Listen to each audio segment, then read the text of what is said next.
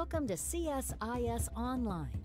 The way we bring you events is changing, but we'll still present live analysis and award winning digital media from our Dracopoulos Ideas Lab. All on your time, live or on demand. This is CSIS Online.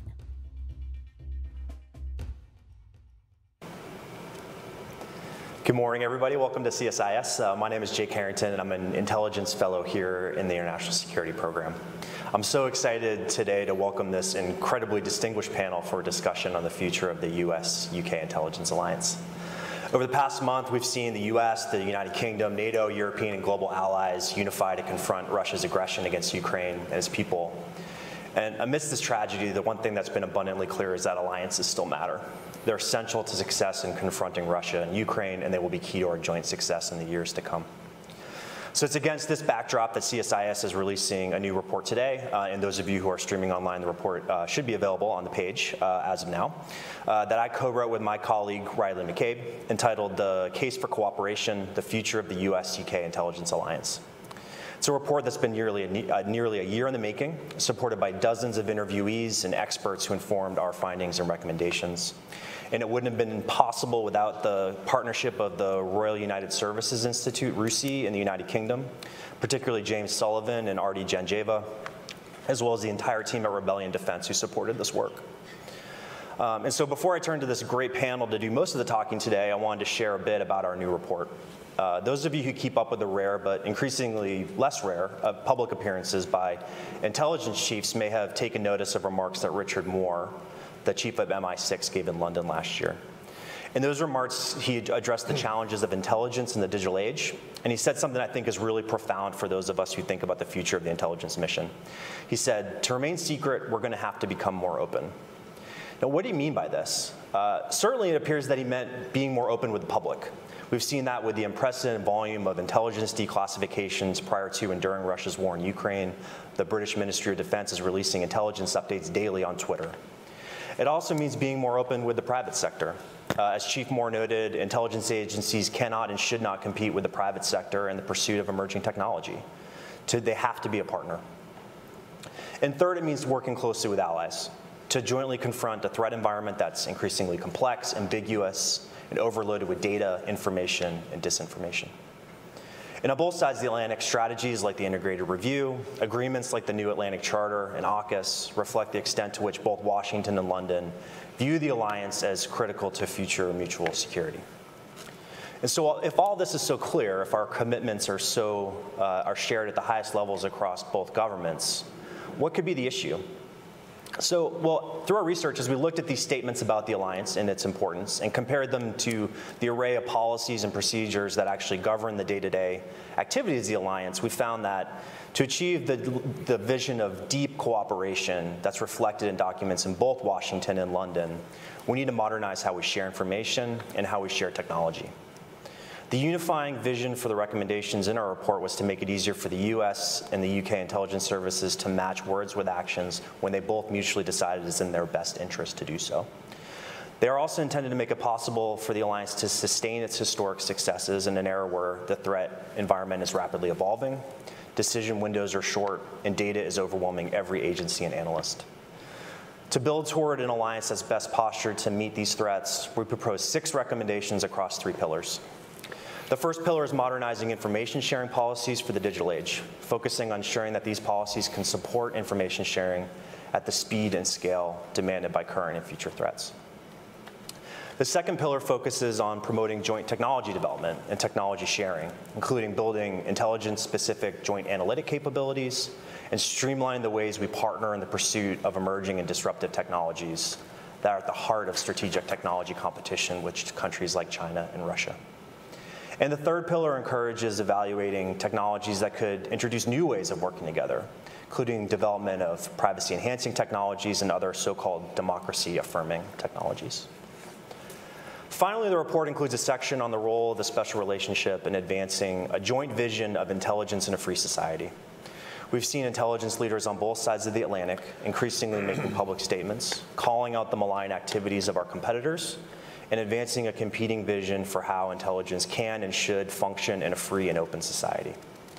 Building on these nascent efforts, leaders on both sides of the Atlantic should work together to advance a clear, unified vision for how intelligence can be detected in a way, conducted in a way that advances rather than undermines civil liberties, human rights, and our core shared values. Although confronting ascendant authoritarianism and shedding light on the ways that technology enables these states to weaponize data against their own citizens is not exclusively a challenge for intelligence leaders, their organizations do have a key role to play in building trust and highlighting how their values and their activities differ from those of China, Russia, and other autocratic states. And so with that, I want to introduce this fantastic panel, and I'll introduce all three uh, that we have, and then we'll go across the table for each of them to make some opening remarks. Um, as we had discussed, Ed Ferguson from the British Embassy was going to join us today, but as much as we are all over COVID, uh, COVID is not over with us. So uh, unfortunately, Ed will not be joining us today, but we've got a fantastic group here um, of experts. Um, and so first, I'm pleased to welcome Kari Bingen. Kari currently serves as the Chief Strategy Officer at HawkEye 360. She previously served as the Principal Deputy Undersecretary of Defense for Intelligence and Security. And prior to that appointment was the Policy Director on the House Armed Services Committee. She's also a non-resident Senior Associate here at CSIS. Next, we have Samantha Clark. Samantha currently serves as General Counsel at Rebellion Defense, and she previously served a number of senior staff positions on the Senate Armed Services Committee, including as Deputy Staff Director and General Counsel for Chairman John McCain. And we have uh, James Danoy. Jim uh, currently serves as an adjunct faculty member at George Mason University, and he's a non-resident senior fellow at the Atlantic Council. He's a retired career intelligence officer from the Defense Intelligence Agency, and he served in numerous senior roles across the U.S. intelligence community, including as President Barack Obama's PDB briefer and as the National Intelligence Manager for Europe and NATO. Thank you guys so much for being here today. And Kari, I will ask you to make the first remarks. Sure, sure. So, you know, I, I, as I was thinking about today's event, it, it gave me an opportunity to reflect back um, on my time both uh, in the Pentagon as well as Congress and, and how we viewed the relationship between the U.S. and the UK. And you know, I, what first comes to mind is how fortunate I was to really see the best of the relationship. Um, I mean, I'll tell you, there were we cooperated, we we worked together on some of the most sensitive things. Uh, whether it ranged from uh, the National Security Agency (NSA), which you know marked the 75th anniversary of cooperation last year, to sensitive operations, uh, placement and access and collection, things I can't talk about, but I would share. I mean, they were pretty pretty phenomenal. Um, seeing coalition operations, having a chance when I was in Congress to, to take members out to Iraq, Afghanistan, elsewhere around the world, and seeing Brits and Americans side by side in the uh, tactical operations centers and, and, out in the field. Um, seeing de uh, defense intelligence liaisons uh, embedded here at the Pentagon or at, at MOD at Whitehall um, the strategic assessments that were done jointly. Um, and I was actually just out at INDOPACOM last week, and, and one of the vices there is, is a Brit. And so seeing that, that day-to-day -day, uh, activity happen is pretty, pretty tremendous. And then when I was in um, the Intelligence and Security Office over in the Pentagon, we had a UK liaison. We actually had uh, Five Eye liaisons. Um, we had some, uh, some great forums for defense intelligence cooperation, discus dome plate for the civilians and the military defense intelligence leaders. They were constantly being evolved to best serve um, serve uh, all, of the participants. And maybe a, a, sign of, I think, how good things were is um, our UK liaison was brought into all of our staff meetings, our weekly staff meetings. I don't know if he wanted to be there or not, but, but we brought him into the tempo there.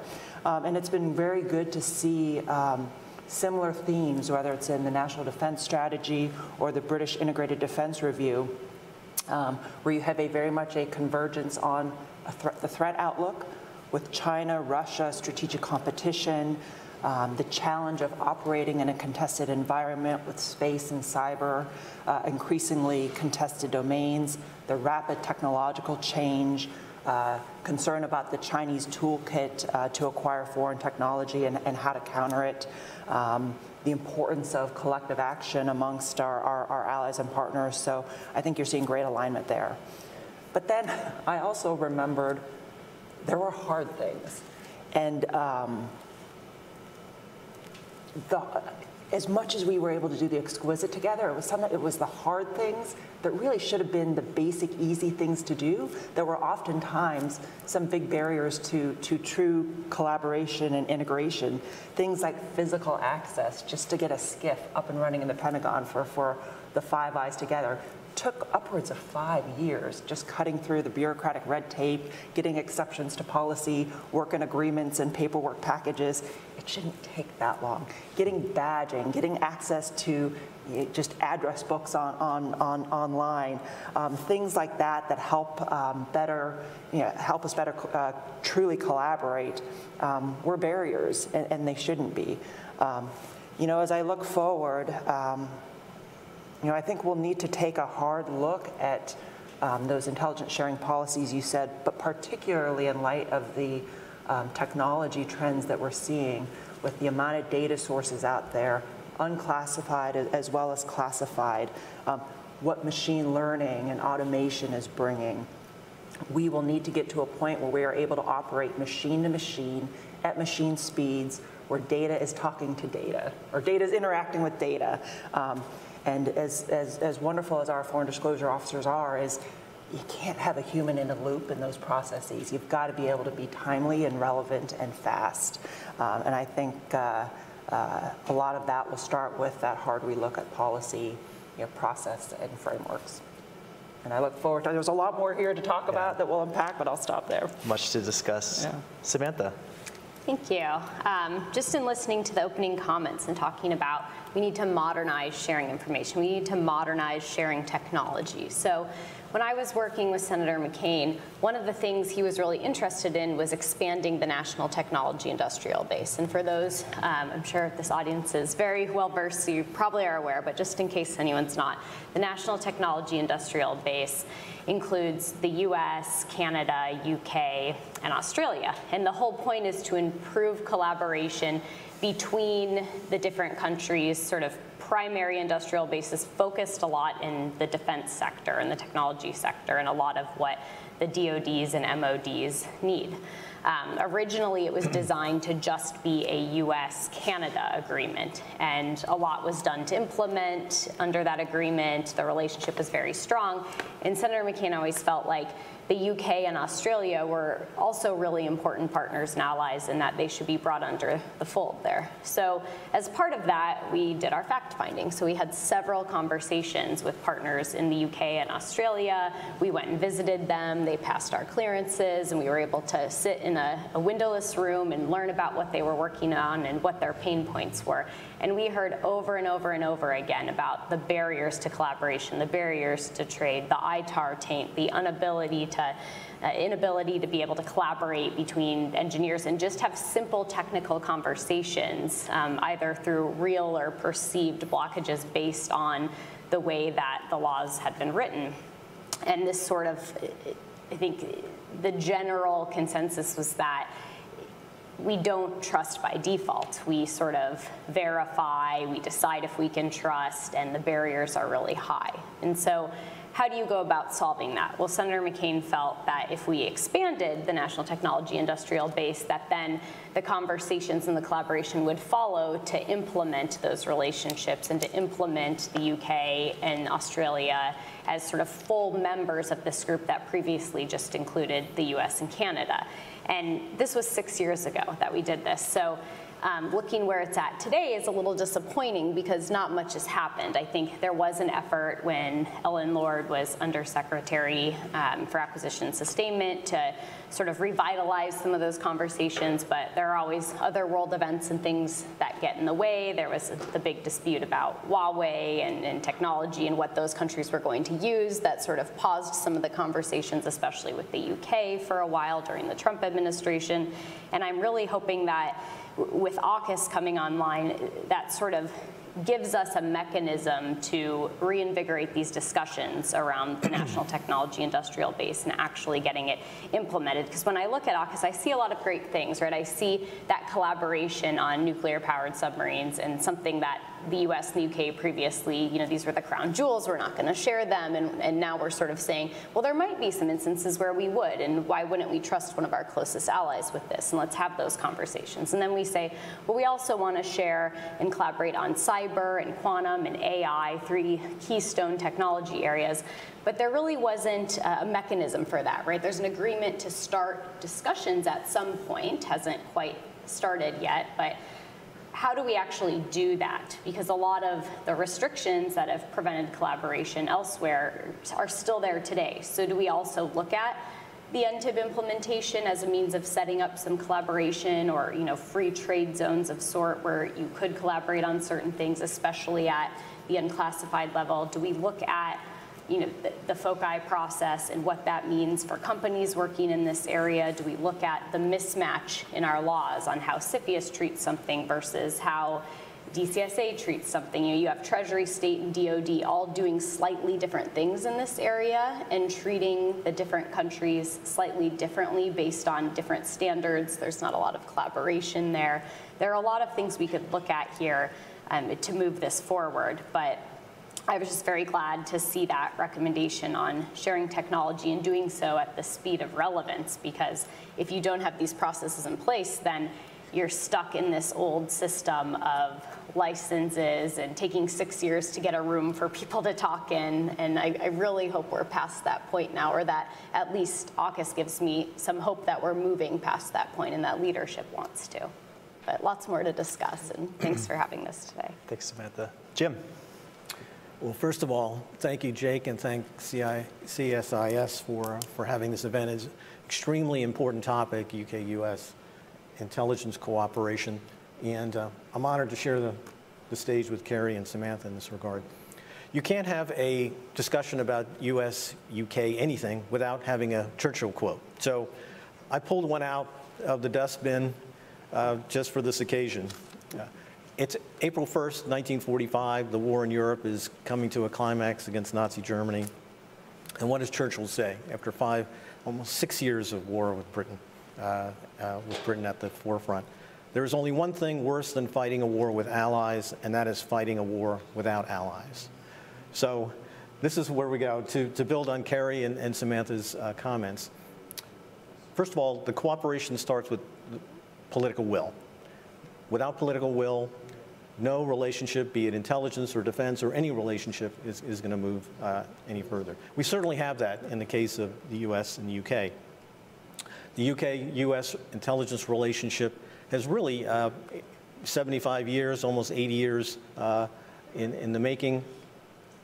It has served as the nucleus for all of our uh, cooperation uh, between the U.S. intelligence community and, and other partners, uh, be it the, the Five Eyes, the so-called Five Eyes, which is Canada, uh, Australia, uh, New Zealand, the US, and the UK, and also our intelligence cooperation uh, with NATO. So you look at the US, UK, the oldest, really deepest intelligence relationship we have with any country, uh, and that serves as the nucleus and the foundation uh, to move forward. So Samantha and, and Kari talked about uh, collaboration, and to me, uh, I'm an analyst by trade, so I spent 38 years in the intelligence community as, as an analyst, and so I, I try to, and I'm a simple person, so I kind of look for simple constructs to, to sort of attack this problem.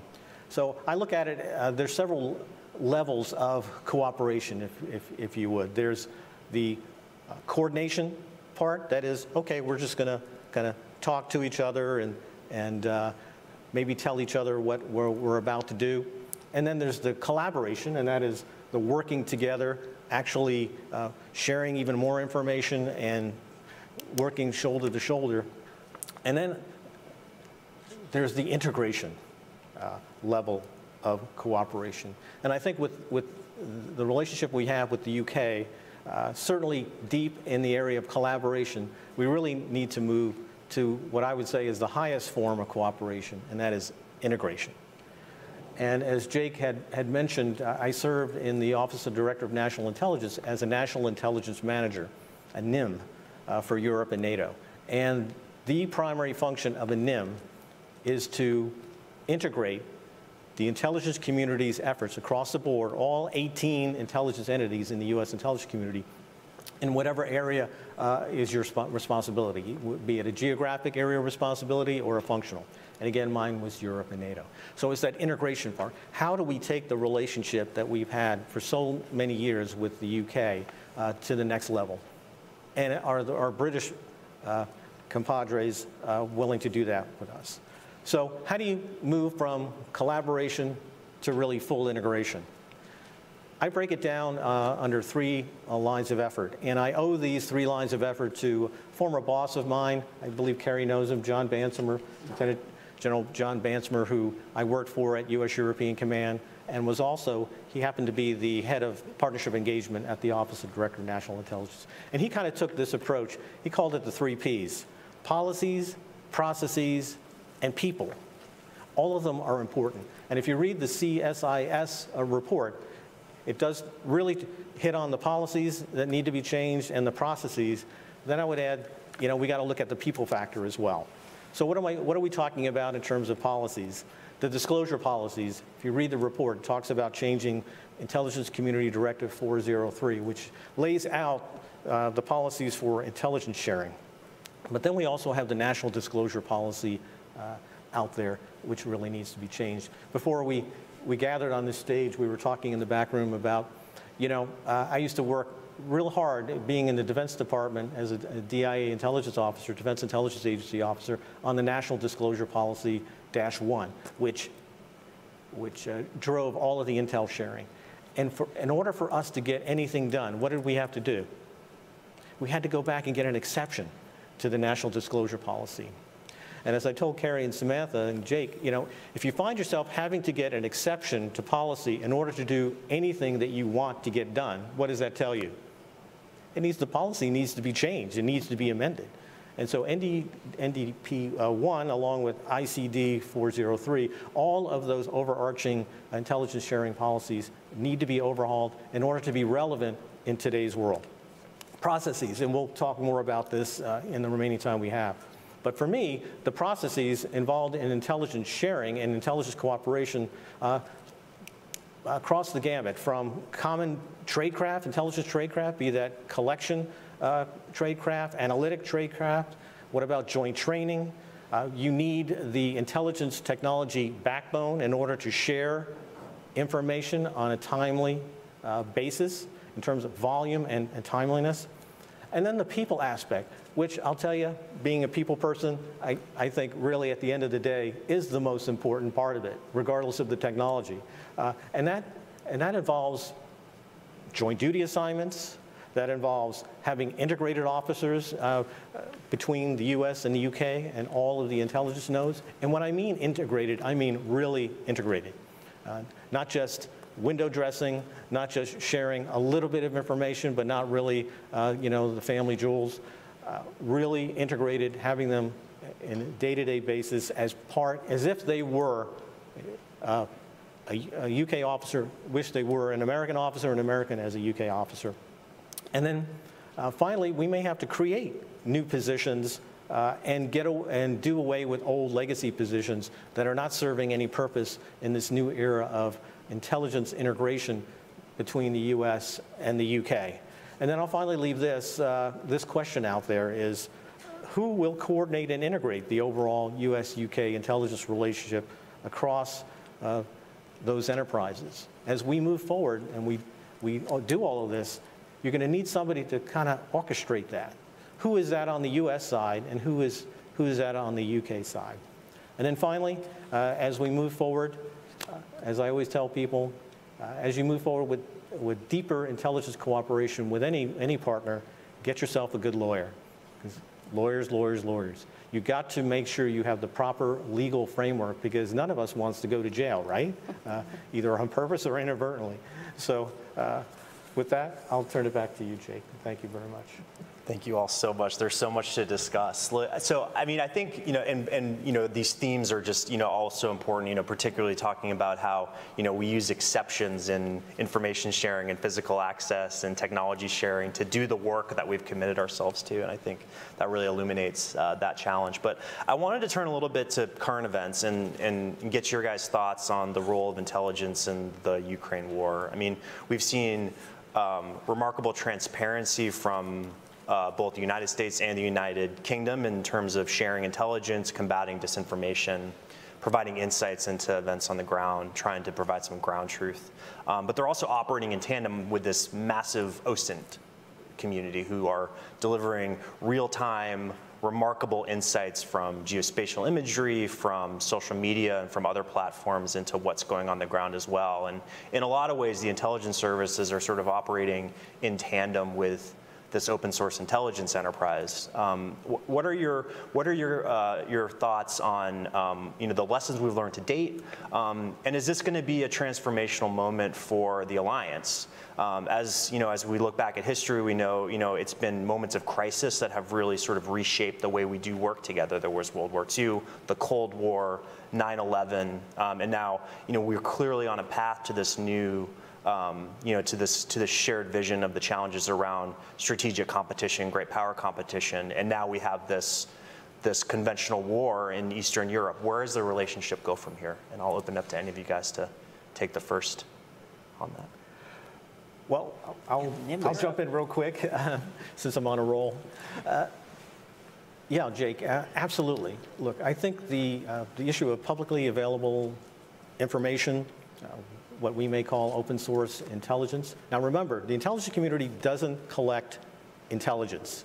It collects information and, and data. Uh, it only becomes intelligence until it's analyzed. That's what I tell my, my graduate students in my course over George Mason. But th this whole issue of publicly available information is a game changer, in, in my opinion. It's, it, and the intelligence communities of the various nations, particularly the US and the UK and, and our Five Eyes partners, need to recognize that and deal with it. Uh, because uh, it is both a, a, a, ready source of information. In the past, uh, I think the intelligence community acknowledged that maybe 20% of its analysis was based on open source and the other 80% on more exquisite uh, collection, whether it's technical means or, or human intelligence. And now you're starting to see people talk about we need to flip that equation that 80% of the information that the intelligence community uses to, uh, to do its analysis is probably going to be in the area of open source.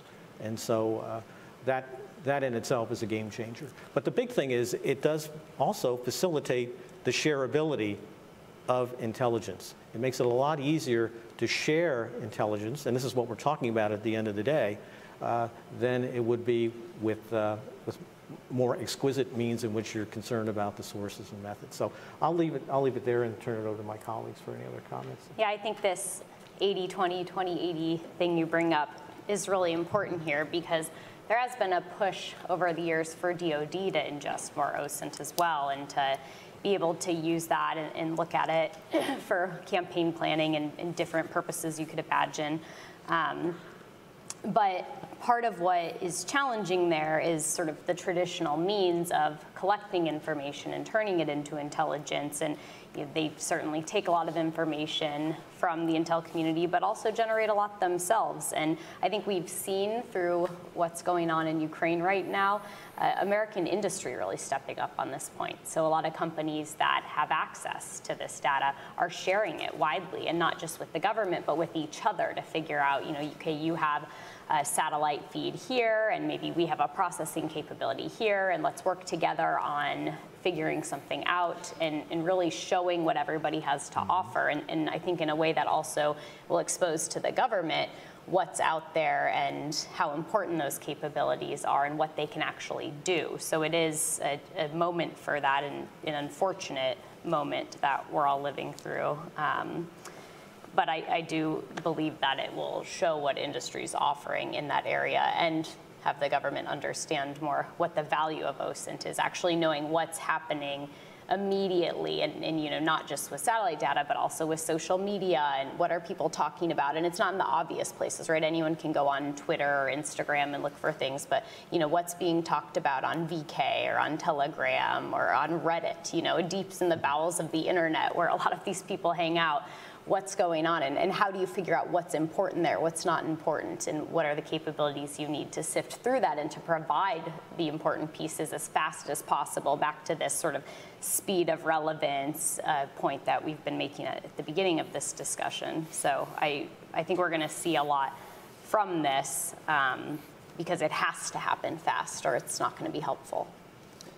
Yes, I mean, what I'd say is uh, what's happening is, is absolutely horrific and, and completely unwarranted and, and, and unnecessary um, due to, to Putin's aggression.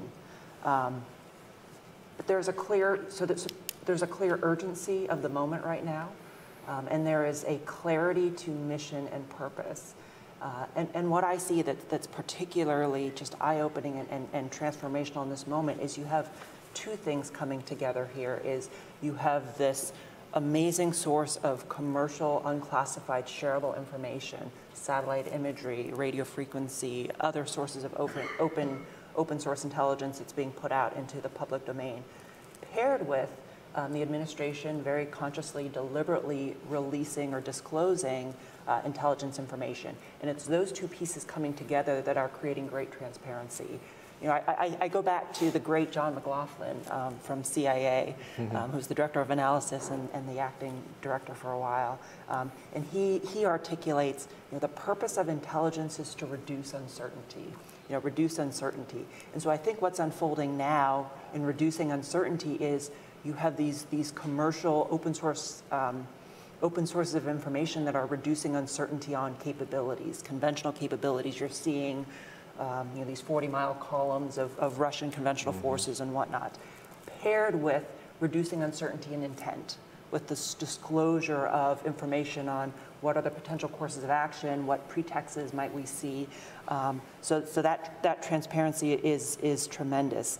I think the challenge going forward for us will be, are we doing this all now just for this moment and for this clarity of purpose, or will we see this, this transparency, this sharing, this, this disclosure of, of information, and really this integration of the 2 mm-hmm. will we see that institutionalized going forward into policy, into process, into training? Um, and for me, that's what I will be looking, looking for as we go, go ahead a follow-up question. I mean, and this isn't entirely related to the alliance, but I think it's really relevant for for what we're you know discussing right now. But you know, obviously there are so many things about the last three weeks that have been unprecedented, right? Not just the de- not just the disclosures, um, but again, the the level of insight that's being generated from high fidelity open source intelligence. But then we're also seeing how disinformation gets overlaid with all of this, either both state-based disinformation um, as well as non-state actor and disinformation and how misinformation can can can balloon from there. What is the role? What, what do you is this is this sort of is this going to be a one-off case that we see the way that this war is playing out in the social media space and the open source space? in the way that uh, intelligence agencies are able to navigate that, or is it going to fundamentally transform some of their responsibilities going forward as they seek to manage one, the OSINT environment, two, the disinformation environment? What are the implications for that longer term? And what does that potentially have for implications for the way that we work together jointly to sort of navigate this more open world?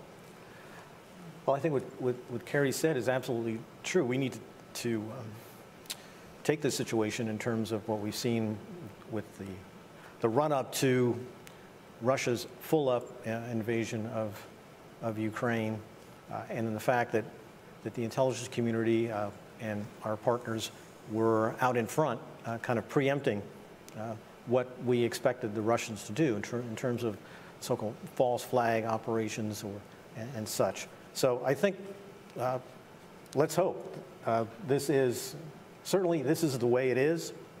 If you look at the elements of national power, diplomatic, informational, military, and economic, the informational uh, aspects of it uh, grow even more and more in, important. Uh, you know, there's an old saying, the first casualty of war is the truth. And certainly in the case of Putin, you know, I don't think he's ever put much value on the truth uh, across the board. So we have to get our message across. Uh, it's important. Uh, and when you're building your narrative and you're trying to get your narrative out, intelligence is at the forefront of that, and sharing intelligence uh, is, is uh, absolutely critical. It's been interesting too to just see things pop up organically. So obviously there's a lot of collaboration from NATO and, and, the EU and lots of countries that want to help and use their capabilities to help, but just what ordinary people are doing, right? So in Poland, they started this app where any regular person could just get on and they could email or call like thousands of Russians and try to tell them like, hey, this is what's going on. And, you know, some of them got responses like, you know, glory to Putin, go away, I don't believe you. But a lot of them did engage and said, like, I'm shocked to hear this is what's happening. And it's a way for ordinary people to reach out. Um, and then you have, of course, people signing up for the Ukrainian uh, IT army and, and all of these things popping up where they're saying just anybody with these skills come and help. And you know, the government's working behind the scenes to catch up with that. But you know, have this full-scale movement of ordinary people. You know, they were interviewing people that were using this messaging service, and they were saying, you know, I'm a truck driver in Oregon, or I'm a mom in Panama, or I'm a mom in Finland, and just people, ordinary people that were seeing what was happening and wanted to help because you hear these just horrific stories of people in Ukraine calling their parents in Russia and saying like I'm actively being bombed and they're saying no no it's your own people like Putin wouldn't do that and they're like are you are you kidding me like but they're being fed this constant diet of Kremlin propaganda and breaking into that is really hard and it almost does take a global effort. It takes the government trying to help, but also ordinary people. And sometimes in a situation like this, that can be more helpful because you might not believe what another government's saying, but if some regular person from Central America contacts you and is trying to tell you what they're seeing in their perspective, you might listen, you might not, but there's there's a good chance you might. And I think just those slow little pieces chipping away. I think we'll learn a lot about this in dealing with autocratic regimes. There are certainly other countries you could think of uh, an application for should something similar happen. And so I think there will be a lot of lessons learned by this, but I hope it continues, and I hope the people of Ukraine uh, are able to get the help they need from everybody. Yeah, and just building off of, Jim and Samantha's comments, I mean, what's striking to me are, are two areas right now, speed and integration. Um, on, on, the integration point, Jim mentioned this earlier, is um, I think the key is going to be how do you bring all of these different sources of information together? And you know, if you think about our analysts uh, uh, out, out at NATO, you know, they're, they're, they're, they're using certain information networks, they're using certain platforms, they're using certain analytical tools. So for OSINT to be relevant to mm-hmm. their mission, where they're combining government data sources with open source uh, sources, how do you make sure that you're not having them look at some you know, 30 other platforms, um, but really truly bringing it together into one place, integrated? That's where you're really starting to show value, is integrating these open source data into networks and platforms and applications that, that, that analysts and that users can use. And then the second piece of this is speed. And I think what we're really seeing out of the, this open source community and, and, what we're seeing really with, with um, the evolution of technology today versus 2014, 20, 20, 2008 in Georgia is just how fast um, these commercial, whether they be the space operators, the machine learning, the information technology companies, um, they're absolutely relevant because they're able to move so fast. I think that's a, a, a, a marked contrast from where, we, where, where the state of the industry was just you know, eight years ago. I'm not sure if anybody's coined the phrase truth fair yet, but I guess we could consider that one for this. But yeah, it seems, you know, in these, in these battles of narratives, that speed is, is absolutely of the essence, and that brings in all of the other components about sharing information at machine speed um, and ins ensuring decision advantage. Um, I'm getting some great questions from the online audience, but I also wanted to open the floor to the um, in-person audience if anybody wants to go up to the microphone and ask a question. Um, I'm going to use one for, that we've gotten online here. Um, and so, you know, we, we've discussed, uh, and I think Kari, you put it really, really nicely about, you know, what the, the war in Ukraine is doing to sort of solidify the alliance. It's a clarion call that, you know, what is right and what is wrong um, and the stakes that are um, that we're that we're facing um, in some of this broader uh, competitive environment. Um, and some of the work that you know we've done in this report and has been you know important to note is that um, you know, overlaying all of this are balancing the opportunities that one can have from leveraging emerging technologies and data in support of their intelligence mission, while also doing doing so in a way that respects you know, human rights, privacy, freedom of freedom of uh, freedom of speech, um, and we've certainly seen you know in, in Russia how those tools have been used to suppress political opposition, um, uh, civil opposition to to the invasion. Um, as well as how uh, China has developed surveillance technologies domestically that they've used. Um, so what are your thoughts on the privacy implications of some of this data and how does um, you know, the US, UK, uh, how do the US and UK develop a stronger intelligence relationship that takes, that seizes upon the opportunities of this environment and the technologies that enable it, but also do so in a way that preserves privacy? Um, and is there enough commonality in, in, in, values between both countries that we can come to a, a unified uh, vision on how that looks? You want me to? Easy. Uh, you can take that one, Karen? I'll, I'll, try, and uh, please uh, jump in. Mm-hmm. Um, let me start with values. Absolutely, there's no question that, that our shared values, and it's not just uh, America and Britain. I mean, I think there are many countries out there, uh, Europe, Asia, Latin America, that have this same, those same set of shared values. Um, it's also why it's so important as we figure out how to advance these emerging technologies and, and apply them, that we are equally vocal on the ethics and value discussion. Um, and I think that that is a differentiator to your point about what Russia and what China are doing to suppress and really you know, create these surveillance states, suppress minority uh, ethnic populations, et cetera. Um, you know, I do think we, we, we, hold ourselves to an incredibly high standard, and we need to be um, transparent and, and, vocal about that.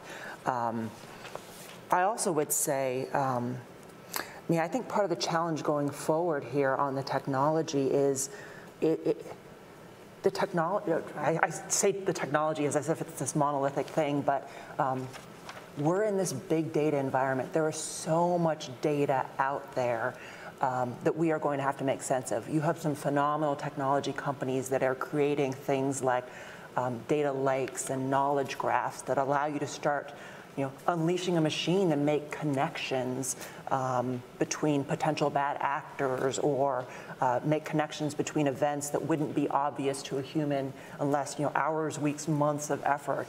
So you can do that now at machine speeds.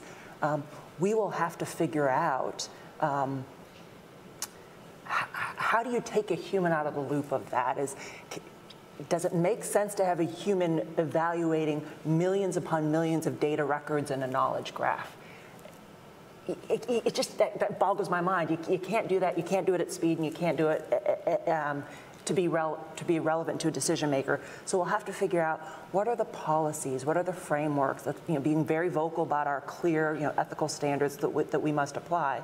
But how do you think, I guess maybe, and I don't know if this is the right analogy or not, but you know, auditing, you know, if you're being audited, it's not about looking at every single financial record. It's about making sure that you've got the right processes, procedures in place, that people are trained, that the right filters are there. So how do we maybe leverage technology to address technology? Yeah, I think the changes in technology and, and where we've gone really help with that, right? So if you think about privacy of data in like a traditional legal sense, right? How do you think about like GDPR and CCPA when you're trying to ingest these large amounts of data? Well, automation and machine learning actually helps that because you can create algorithms that sift through, look for what's needed and delete what's not and purge the pieces you don't need. And so you don't have physical eyes looking at everything. And so in a sense, like it might be going through an input, but just released on the other end, no action, no one's seen it, and the system sort of deals with that. Now you're gonna have things you have to control for on that, but there are ways to program things now where there's not an analyst sitting there for hours combing through every single posting. And so you can, you can automate privacy compliance in that way. If you want to think about it sort of in, in the legal sense, I think There's also a question here about how are we collaborating across efforts and, and using data and creating tools here. You know, so we're a US UK company. We spend a ton of time in thinking about what our company is doing to help with the Ukraine response and figuring out how can our US and UK engineering teams work together? What actually creates some type of intel tool or something that might be export controlled where we can't work together? How do we set limits on what they do? Um, I would love to not have to do that, right? I would love to not have to spend hours and hours making sure everyone's on the right side of those lines, which of course we will do because we take our compliance obligations very seriously. But having to limit that open collaboration of these brilliant engineers we've hired is really frustrating. I want them to be able to work together instead of on siloed projects in each country. If our goal is for all of our allies to be able to share the ultimate outcome of the new technology product or the new way of processing and identifying data trends. We need to start that with our own teams. Um, and it's frustrating to not be able to do so. And I think a lot of what's going on now is just exacerbating or highlighting some of those frustrations and where we're trying to collaborate. If I could just jump in real quick, I mean, certainly we, we share the same values with our UK partners, and that's important. I, that, that goes back to the, the foundation of why we have uh, our intelligence relationship with the UK. We have common interests and we, we share common values. The issue of publicly available information and what the government, uh, specifically the intelligence community, is going to do with it is the, is the key. It's not the fact that it's out there, uh, because it is out there. It's really uh, the public's, uh, it, it's a public trust issue. Uh, it's, you, you probably give more information, I do, to, to Amazon and Netflix and all, all of those things that, that, that you could imagine, but nobody uh, sort of worries about what they're going to do about it other than you might get spammed in terms of lots of uh, emails. It's the question of not so much the information, it's how it is going to be used. And that is going to be an issue that is always going to be out there. Uh, and it will require an ongoing effort on the part of the government, on the part of senior intelligence officials like the Director of National Intelligence and others going out there saying, hey, this is a uh, repository, a reservoir of useful information that the intelligence community needs to tap into to provide uh, insights and thereby carry out its mission, which is to protect uh, the American people. The one thing I always uh, mention to people when they're concerned about this issue of the intelligence community using publicly available information versus what Amazon does with your information or Google or Apple is the big difference is one of those entities has sworn an oath to preserve and protect the Constitution of the United States and to defend the American people. The other hasn't. So um, this is, again, uh, will require uh, an ongoing uh, communication effort between the intelligence community and the public in order to maintain some level of trust which will allow the intelligence community to carry out its, its uh, lawful mission. Well said. Uh, Samantha, I actually have a quick follow-up for you. So, sure. I mean, we've talked about um, you know technology transfer and um, this this idea that um, you know we're, we're looking at a future where where technology alliances are going to be instrumental to success. We've see how much money uh, China and other countries are investing in mm -hmm. disruptive capabilities. Um, we, we, on the, we on our hand are, are, have at least committed to working with our allies to develop competing technologies in the areas of artificial intelligence and quantum computing and cyber capabilities. What, what are your recommendations for how to communicate sort of the stakes of this? That you know, this isn't just about technology competition, but there's a values component of as well. That if we coordinate between you know, like-minded countries to develop these um, disruptive capabilities that have tremendous impact on society, that it's, it's, it's actually an important element for, for our success sort of in this values debate as well about technology. And I've opened up to others as well, but interested in Samantha's comments in particular. Yeah, it's incredibly important. And I think by sharing and working together, we're showing that we all agree with this value, that we're trying to promote this as, as a global view as well, understanding that other nations disagree with that posture. I think, you know, what's interesting about what's going on in Ukraine is that Russia's whole goal, Putin's whole goal here is to drive Ukraine out of interest in NATO, out of interest in the EU, and, and in a sense, he's sort of pushing them, you know, into our arms, so to speak. And same thing with like Finland and Sweden taking a look now, and Moldova considering the EU, um, Switzerland giving up its neutrality and actually saying something which I think was surprising to a lot of people here. Um, it's having that opposite effect, and so we sort of have this moment now where democratic nations are coming together to say like these values of openness and transparency and democracy and freedom and liberty and all of these things are, are critical and people want this. They're you know defending their land and their country and these ideals that makes their country so unique to them. And the global stage really needs to kind of step up in this area too and show that we want to continue to work together here and to spread that message. And part of that is through collaborating and being open and saying, like, you know, we might have had some barriers in place before, but given the threats we're all facing, we're going to be stronger together. And, and to go back to the National Technology Industrial Base, that was a big piece behind it. It's like, look at mm-hmm. all these threats we're facing in Russia and in increasing threats from China, where we used to talk about, you know, near peer competitors. And a lot of times now you hear peer competitors. You know, we're getting to this point where we can't say, oh, we have this great technological dominance anymore because of all the investment China's putting in and the investment they're putting into their own industrial base and even directing projects and programs and funneling money into their own sort of version of Silicon Valley, but in a way where they can have the IP rights to your technology and they can control things um, in a way that we don't do in democratic nations and being able to collaborate on these things is going to get faster results. It's going to get solutions into the hands of our allies. Like, what's the point of developing all of this stuff in silos? And then, oh, well, we have to go through this big, like, FMS congressional approval before we can share this, or we have to have some, you know, secret agreement to be able to collaborate on one thing, but just for this case, and then we won't do it again.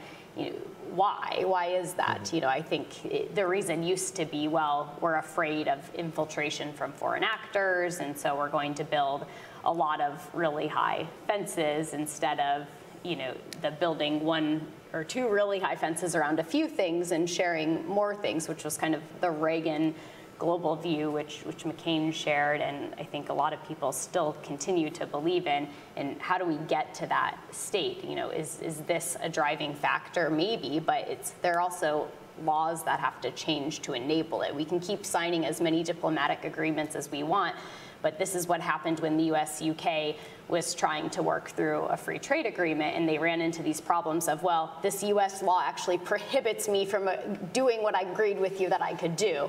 And then, you know, going back and changing and doing all that is so complicated. Like, why don't we do more of this at the beginning and work out the mechanisms to actually have the effort be successful? Otherwise, we're left with all of these agreements that are aspirational and they're they're wonderful. They're doing what we want and we can a- applaud and sign agreements and have press conferences. And then when it gets to the nuts and bolts, everyone's like, oh, but there's this thing that we, we're gonna have to get congressional approval on and we don't think they'll do it. And then you have, you know, Treasury and DOD and state. And how does that work on the Hill? Well, Treasury, you know, is controlled by the Banking Committee, the Financial Services Committee. So they write the laws for CFIUS. Then you have all of DOD is done by the Armed Services Committees.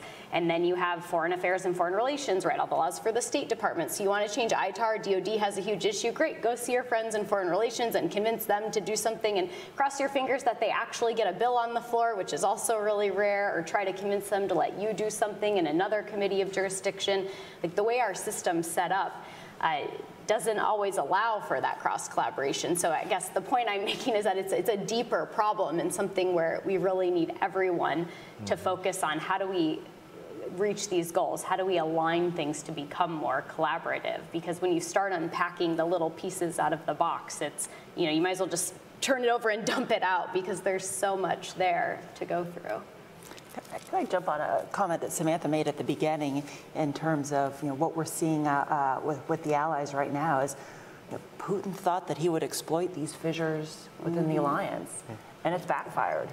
Um, to, and all the examples that Samantha mentioned, uh, complete, it, it's phenomenal to see. And then you have others, uh, you know, the Scandinavian countries, you know, looking for, for ways to, to, mm-hmm. to cooperate further. Further, you have the, the Germans that have now committed over 2% GDP. Um, and it's not just in Europe, but also think about the Asia Pacific. Um, you have our allies and partners in the region coming and saying, hey, we're going to put more towards our security now's the time for us to figure out how do we better um, cooperate on the security front, what capabilities should we be investing in jointly. Um, there is a window here, and I've heard actually a couple of different uh, Department of Defense officials use the term allied by design. Mm -hmm. um, mm. But now with a national security strategy coming out, a national defense strategy coming out, now is really the, that, that window to, to jump on what does allied by design really look like with these allies and mm-hmm. partners who want, who are committing more resource, committing more political will, and that mm-hmm. want to do more with us. You know, we need to to, to, frankly, to take advantage of that and figure out what best to do there. Yeah. Extending trust in a meaningful way. Exactly. That's outside of the, you know, the sort of traditional risk framework management that we've been taken to it, which doesn't differentiate between allies and potential threats. And now we see the stakes that are that, that cooperation is actually essential. Mm -hmm. um, and we need, to, we need to do it by design, it needs to be baked in.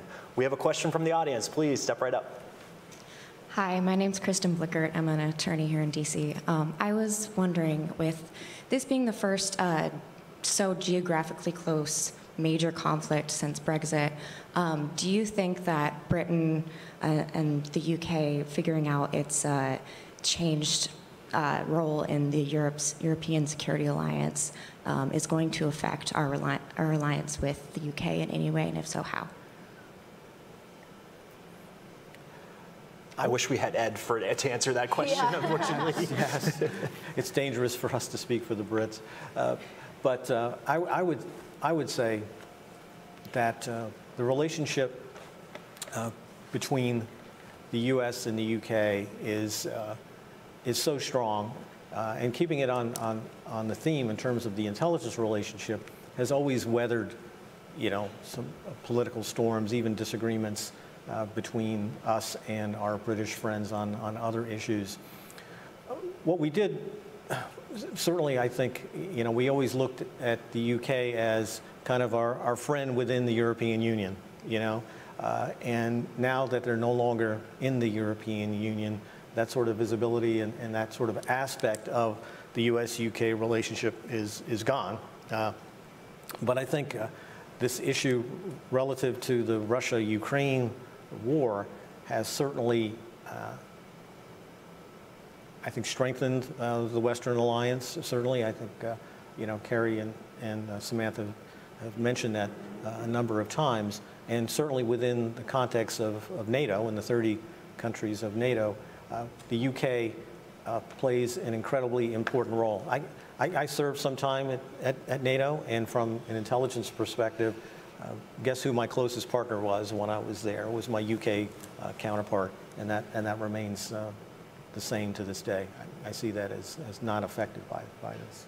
There are some interesting pieces to it as well. So one of the issues with the trade treaty was that the UK couldn't agree to certain restrictions on third country or third party transfers of technology that the US was demanding in order to have more open um, transfer of technology and, and perhaps exemptions or carve outs to certain pieces of export control and it, they weren't allowed to do it because of their EU commitments there. But now that they don't have those commitments, there is a possible avenue for further negotiation on that front. So um, kind of an interesting, mm. varied piece, but mm -hmm. food for thought. We're short on time, so instead of asking another long-winded question, I just want to open up for any any, any closing thoughts from from the three of you. Anything that anything that we missed, anything that you think is important to close on. Real quick, uh, the U.S.-UK intelligence relationship is so deep and so strong, and as I mentioned in my opening remarks, it really is the model for intelligence cooperation across uh, the board. So when we're looking at uh, more partners, and we need as many partners as we can in this, in this ever-changing uh, global competition, uh, looking and having that, that firm relationship, uh, it's sort of like a you know, a safe port in, a, in, a, in stormy seas is, is extremely important. So I think it's absolutely essential that we move forward and we deepen our UK uh, US intelligence relationship because it's, it's more and more relevant uh, for today's world.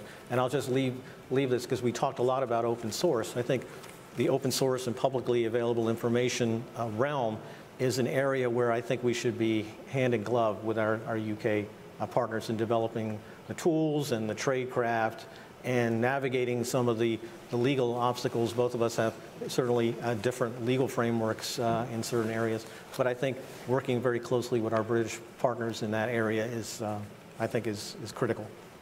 Couldn't agree more, and just wanted to leave you with, you know, some hope, right? So, some great things have happened. We have AUKUS, we have, um, you know, CFIUS had announced that they were going to put on the white list the UK, Canada, and Australia based on the fact that they also have thorough foreign investment review processes. And could you take some of that and maybe apply it to other areas that you look at in, in FOCI, um, in foreign collaboration, um, perhaps. And so there have been some little chipping aways that have occurred, and I think we're on a path to continue looking at this. There was language instructing a, a review on the National Technology Industrial Base implementation. I hope our colleagues at State will uh, collaborate with colleagues at DoD because it's important for both of them to be heavily involved there, but things are, are starting to move in the right direction, um, and I hope they will continue on that path and just look forward to seeing further collaboration and, and what the allies can really do to, to defeat Putin and his autocratic regime. Yeah, I'll end where I started, which is I am for, I've been fortunate to see really the best of this relationship and, and the depth of the, co- with the, the collaboration, the cooperation, the integration, all the things mm-hmm. that Jim talked about. Um, I would recommend, that, God, we got to fix those basic things. It's mm-hmm. the badging, the SCIF facility access. I mean, those, those things that shouldn't be hard, but gosh, you fix those, it just makes the rest of it that much easier to do. And there are going to be some hard operational challenges ahead of us. I I'll throw out JADC, which is probably a whole nother discussion, but you know, you think about a future where you have a satellite collecting data that on, say, a missile launch that has to pass off to a ground radar that's tracking that missile, that then has to pass off targeting coordinates to a shooter. It's hard enough for us to do it across services. How do you do that with an ally? How, how does a UK sensor then feed a, a, a US shooter at machine speed without a human in the loop with machine learning? Um, we need to be able to get to that kind of a model, true integration at the operational level. Um, but that's going to require us to go back and fix those, those policies, processes, and, and get the people, mm-hmm. people trained um, to do that mission. Outstanding. Thank you all so much for joining us today. Thanks to the audience here, and thanks for everybody tuning in. We'll just give a quick round of applause for our panelists here. Thanks so much. Thank, Thank you. you.